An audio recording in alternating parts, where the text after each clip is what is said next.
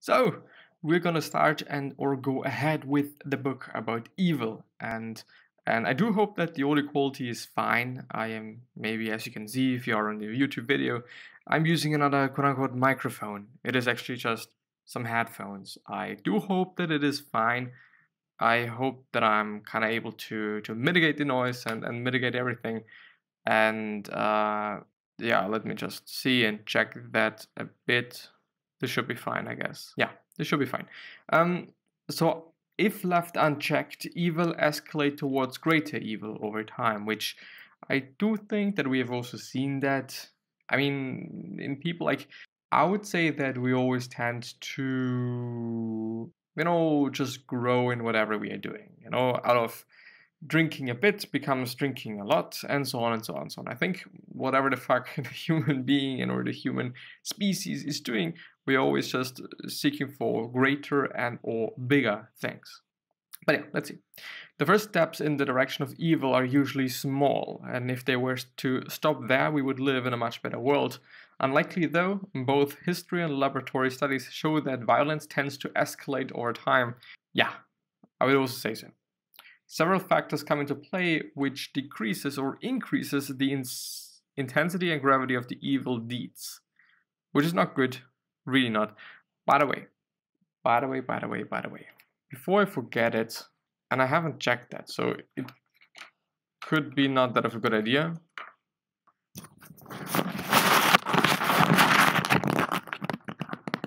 But let me do that.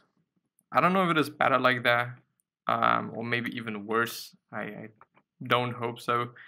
But yeah, um, I do hope that I'm just lowering the amount of bullshitty uh, popping noises and access and, and wind and stuff like that. But yeah. Among the factors which flame the spread of evil, desensitization, people get used to violence, stop protesting, it and it becomes uh, it becomes the new norm. There are exceptions where people move in the opposite direction, though. Mutual revenge. Revenge tends to be uncalibrated and much stronger than the initial offense, naturally leading to escalate. By the way, let me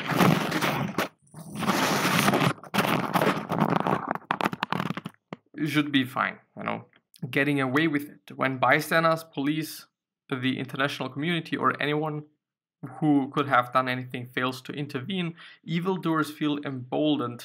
Example Turkey with the Armenians. Yeah, you know, if nobody does something, we think, well, it is probably fine, and it is probably maybe even good, whatever the fuck we are doing. But no, it is not, you know. But you know, it's it's some deep psychology there, which I totally enjoy and totally like, and um, feel like that we all can learn something from. And I do think that this is the case with quite a lot of things that we we can transfer or translate certain things that we have seen in, in one part of life or in one area of life into something else or in another area of life. Meaning, okay, I know about evil now and I know about why we're maybe doing things and, and whatnot. So I can translate that into something else. I can translate that into other areas of my life. You know, I can't give an example for for what, you know, but I have a strong feeling that we can, and or some of you can. Lack of reaction from the victim. When the victim fails to react, for example, a spouse who does not leave the marriage, the abuser is likely to feel emboldened. Well, I don't know if react. Hmm. Hmm. Well, I don't know. It is a it is a difficult question. And I am thinking about it because most often, and maybe this is also the case for you, I've been told by my mother and also other people, and I've also given the advice myself that when somebody does something and not reacting to it, you know, in terms of okay, somebody saying some weird words to you or, or something else, like you know, something similar, then the best thing you can be doing is not reacting and not doing something and and so on and so on and so on. But but I do also very get that uh, to some other degree it it just encourages like I don't know like it is the same thing with getting away with it you know because nobody does something there is no reaction there is nothing happening so it maybe is fine and or um, I don't know I think we are seeking a reaction I think we are seeking something you know some sort of of answer to our not question but by uh, or to our act and or our actions And when we're not getting that, I do believe and I do think and I have a strong feeling. Uh, I'm not a psychologist, by the way. You know, I don't know anything. It is just assumptions. It is just some thoughts, and maybe you can just do something with them.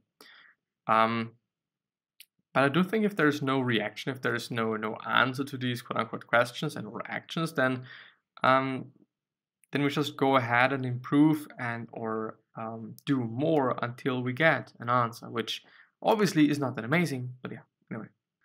Um, lack of reaction from the victim, which we have already gone through. Yeah, amazing. Group dynamics. Several group dynamics contribute to individuals' morals to be overridden.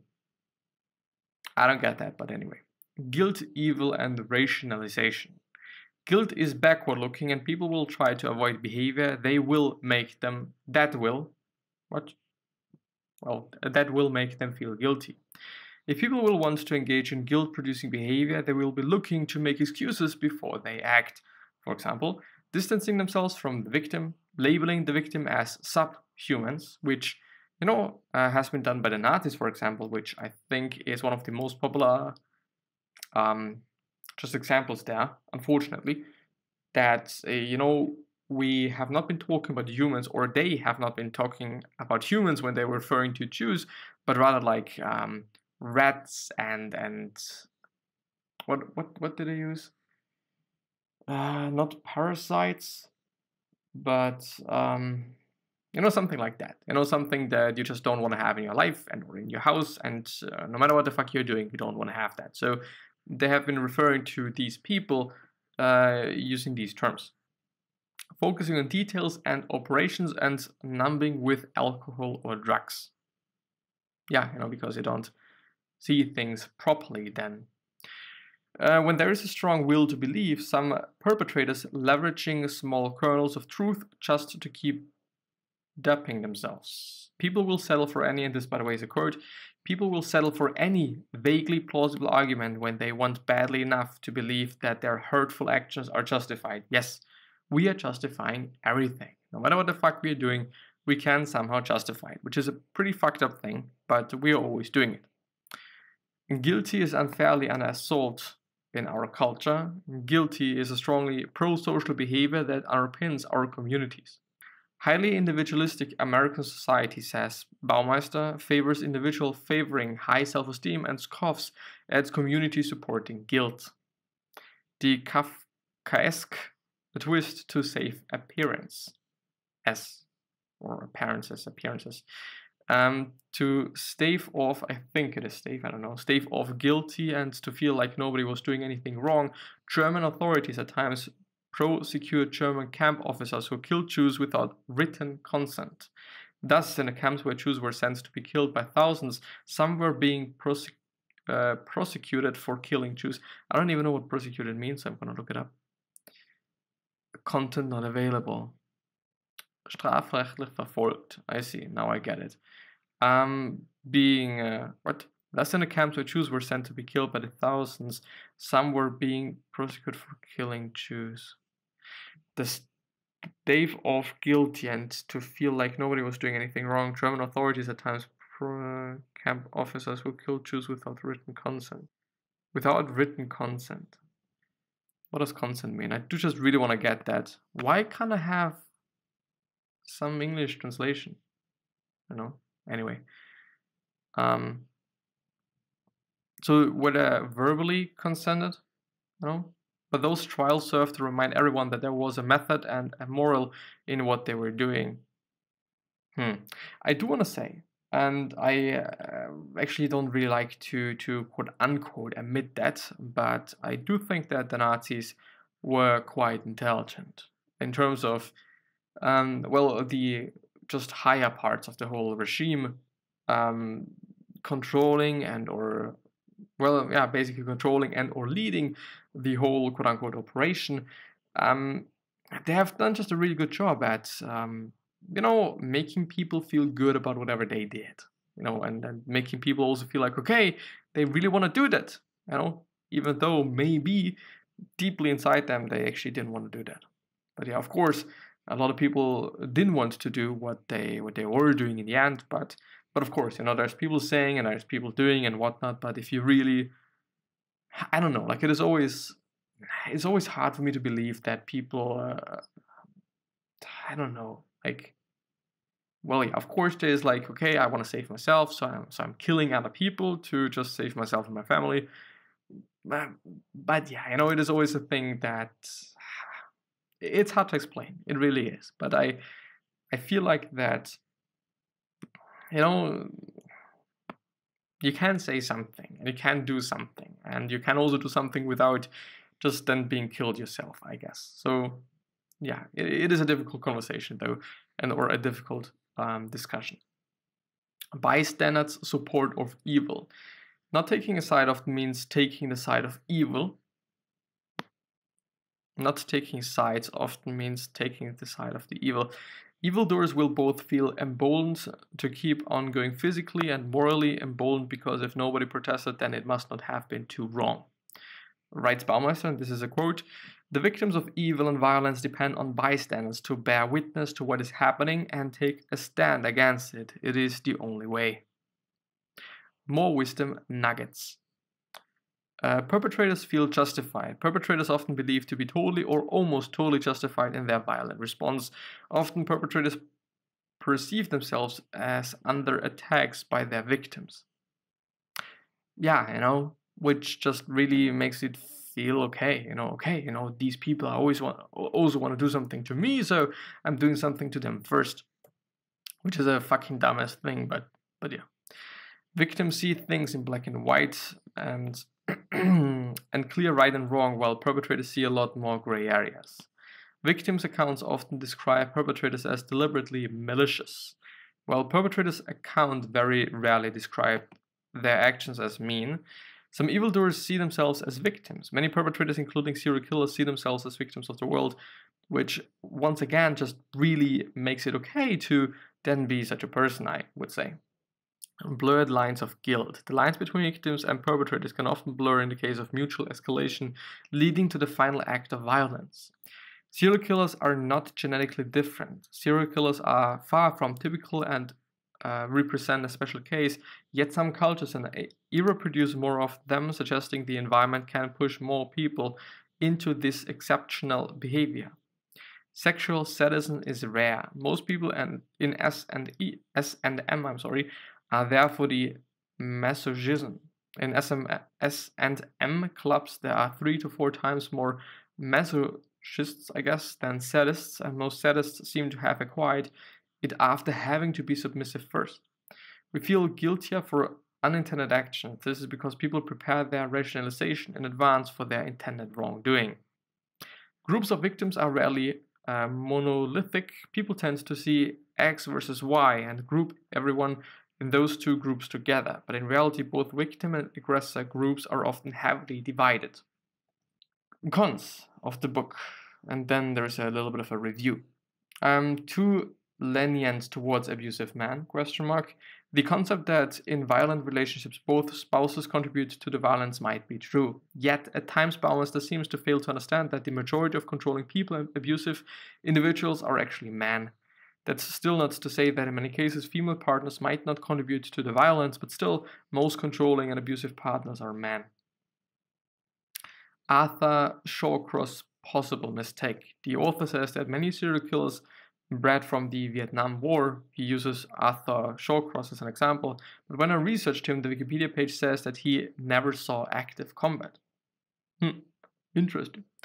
Gangs, depending on a neighborhood's sound, while neighborhood sounded silly. Uh, I wasn't convinced by Baumeister's idea that the neighborhood supports the gangs with food and shelter, and thus the gangs are dependent on the neighborhood, giving the later more power. Heat promotes violence. Baumeister says that heat promotes violence. That uh, didn't sound credible to me, and upon checking, the link is indeed tenuous and no final proof is available. Interesting.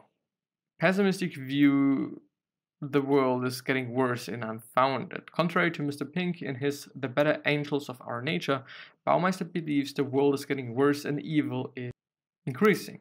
I disagree, however, he might be right that future generations might think of 20th and 21st generations as evil for their consumption and pollution. Yes, this could kind of definitely be the case. Like, yeah. Um, evil review. Evil by Roy Baumeister is a monumental work. It's one of those rare treasure troves of information that excites me for all the new wisdom it helps me acquire. Because of its great work in connecting evil and group dynamics, I elect Evil as one of the foundational books for the power moves. Check the best book collections or get the book on Amazon. And yeah, this is actually it with this summary. And um, yeah, I've kind of not been that well in terms of going through it. It take or it took me quite some time to be honest, which I'm very sorry for. Um, but yeah, I do hope that you've been able to learn something. I do hope that you've been able to get something out of it. I think I have, um, even though I just forget just a lot of things. You know, uh, just I think 90% of the book summaries I went through, I've forgotten about the information right after I've recorded it. You know, I basically should go through them on my own and or once afterwards and, and then whatnot to really get the information. But yeah, it is fine. It is okay. And I do truly hope that the audio is fine once again. And and yeah. I wish you best health of happiness and also success, and also hope that you're reminding yourself on how you're going to be remembered, which basically means your legacy, and basically means just being a nice person and then being remembered as a nice person, which is a pretty fucking cool thing. Three other questions that I have you are why are you here? What are you trying to change and what is bothering you the most? These three questions are hopefully going to show you your purpose and maybe even a business idea, which is a pretty fucking cool thing. Um, yeah. Three other questions that I'm have you are why are you here? What are you trying to change and what's bothering you the most? These three questions hopefully going to show you your purpose and maybe even a business idea. And I do think that I've said it twice. But yeah, one last thing that I'm have you is what could you essentially say to another person that is indeed going to change their life? Because uh, yeah, we all can say something, I believe. And um, with that being said, I'm hopefully going to see you the next time. And yeah, bye bye. Please take care of yourself, your family members, and all your loved ones. Bye bye.